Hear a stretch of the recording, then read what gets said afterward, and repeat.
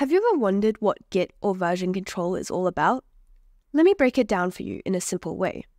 Imagine you're a contract manager. You have a basic contract template that you use for different clients. Let's start with customer A. Every time you make changes after a negotiation, you save a new version contract version 1, contract version 2, and so on, all in the same folder. This way, you can easily track each step. Now, for customer B, create a separate folder and do the same thing, keeping track of every version of their contract. That's pretty much how Git works. Your code is like the contract, and each saved update is called a commit.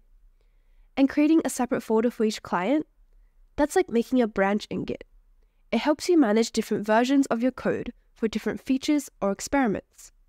And unlike regular file backups, Git only saves the changes between versions, not the whole file each time.